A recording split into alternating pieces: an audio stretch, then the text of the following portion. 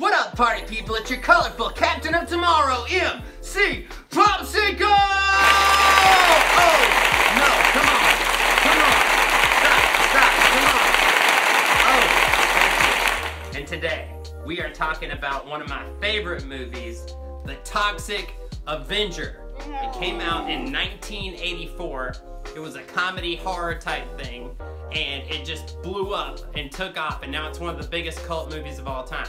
They have candy, they have cartoons, they have video games, basically anything you can imagine they have because this blew up so big. And today, we have a very special guest. The guy that actually played the Toxic Avenger himself. Y'all, give it up for Mark Torgl! How you doing, my friend? I'm I'm doing well. I'm doing well, and uh, so good to see you there. I like your glasses and your hat. Oh, these? That's from our sponsor. Thank you. So, what you been up to, buddy? Um, I started doing a little acting uh, post um, COVID here. I just worked on a movie called The Macabre, and uh, I've got a pretty gruesome scene in there where I get a a, a hatchet to my head, um, which was fun to do, doing that and uh, starting to live life a little again, you know, now that things are kind of normalizing. So I, have got a, a, film coming up in uh, in a couple months in Nebraska, and Lloyd Kaufman, the head of Troma, is also going to be in that movie. It's called the After School Lunch Special, but it's really a horror film. Um, and I've got a couple of uh, conventions to do later in the year too. So getting back out there. Yeah, we're all trying to get over the stupid COVID thing. But I'm super excited about the after school special and Macabre. Please let us know when that stuff's coming out. All right, down to brass tacks. What is your favorite movie? Well, The Toxic Avenger, of course. Okay, me too. But excluding The Toxic Avenger, what is your favorite movie of all time? Um, I, I, I, I'm a big fan of Freaks. Have you heard of that one? Yes, the one from it's it's like from the 30s or 40s, something like yeah. that. Yeah, yeah. One of one of us, one of us. That's that's a good. Gooble gobble, gooble gobble. Yeah, I like exactly, exactly. Um, Night of the Living Dead. I'm a big fan of. Um, I like Basket Case. Um, those three I like. Okay, so what you're saying is you like Toxic Avenger or other equally crazy movies like Toxic Avenger. Okay, I think I understand. Yeah, Freaks was super divisive at the time because they used like real circus people. Yeah, controversial because they used real freaks. Yeah, you can't get away with that anymore. No, no, you can't, you can't get away with Toxic Avenger anymore. Yeah, I was about to say. Also, what about the reboot? Do you know about that? I do. Uh, yeah, Peter Dinklage is playing Toxie. That's crazy. That's I think it's, I think it's genius. Dude, I love Peter Dinklage. He is so talented. I would love that. I would really love if he were in that movie. I think it's yeah. going to be really funny. I'm hoping to get on on on that actually, um, as a cameo. So um, nothing definite yet, but I've got the word out. Yeah, they definitely need some of you guys from the original Troma movie because I watched it last night and I don't think it can be replicated. Yeah, it took on a life of its own. And, uh, you know, when it first came out, it didn't do very well until it started doing the midnight movies. Um, and then it got, you know, it turned into a cult status type thing. Uh, but not not right away. It took a while for that to happen.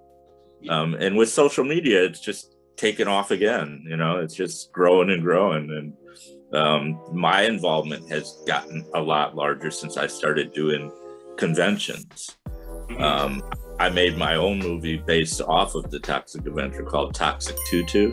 I know and it's. Yeah. It's the almost true story of whatever became of the Toxic Avengers, Melvin the Mop Boy. uh, we, we had a lot of fun doing that. That's streaming now. It's on Amazon. Um, uh, you can you can buy a DVD from Amazon too. Definitely, that is really cool. Yeah, and during the research for this, I saw that. Like, yeah, that's exciting. that's really exciting. Everybody, check out Toxic Tutu. Also, before I forget, I want to ask you about something you said earlier.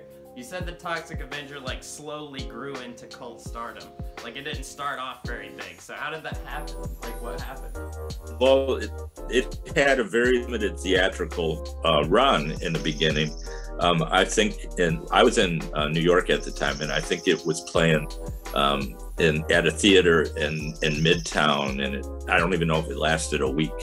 Um, but then it started uh, being shown in the in Greenwich Village at the Bleecker Street Cinema as a midnight movie on Saturday nights, and it started getting a following. And then it got written up, and then people started talking about it, and it turned into a party every Saturday night.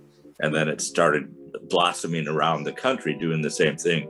I even made a personal appearance there one night after it was really uh, cultishly popular. And uh, I was trying a little stand up comedy, and I was really awful, but everybody loved me anyway, you know, in the audience. So, and it, then it just took on a life of its own, and you know, became this cult favorite uh, monster movie that you know just people never forget it. Definitely, no one is forgetting they watched the Toxic Avenger.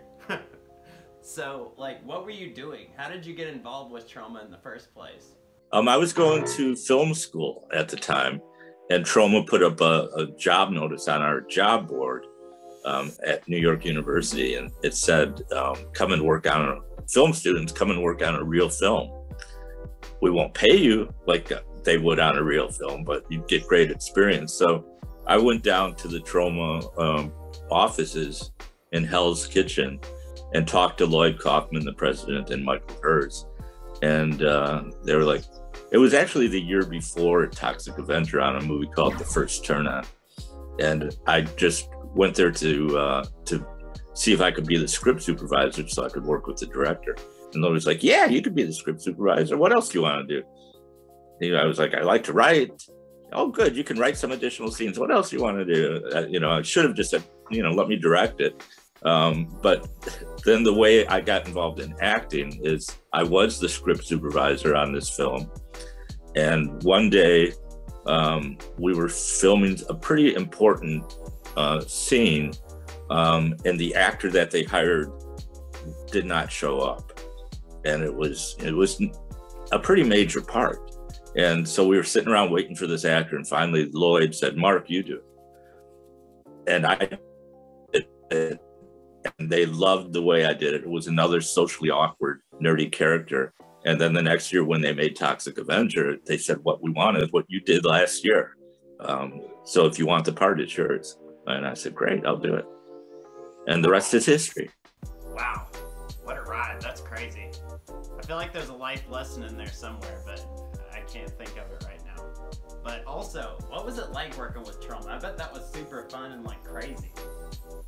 Oh, it definitely is. It's it's wild. Um, everybody is doing it uh, for the joy of film and the joy of just working for Troma and making these crazy, ridiculous movies that they make.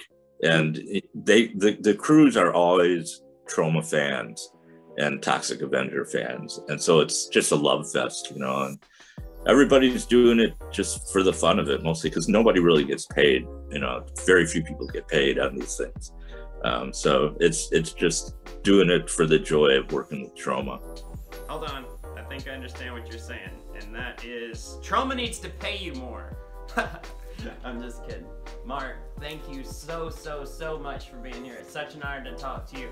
I love the Toxic Avenger. I love everything you do. Keep up the good work, my friend thanks so much for having me. I appreciate everything you're doing too.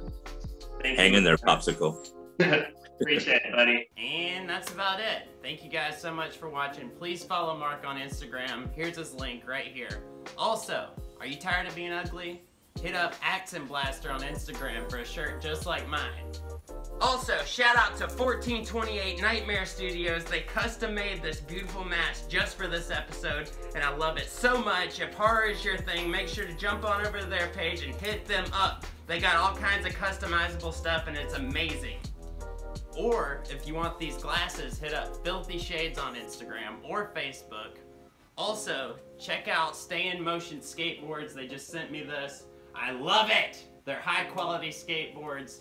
They're amazing. Grab yourself one. Also, StickerYeti.com. They made popsicle stickers. You can get one from me or you can hit them up and they'll make whatever you want. So yeah, hit them up. Also, shout out to my people at Emerald Coast Pools. If you need a pool or a hot tub fixed, hit them up. Thank you so much for watching Weird Movies and I'll see you next time.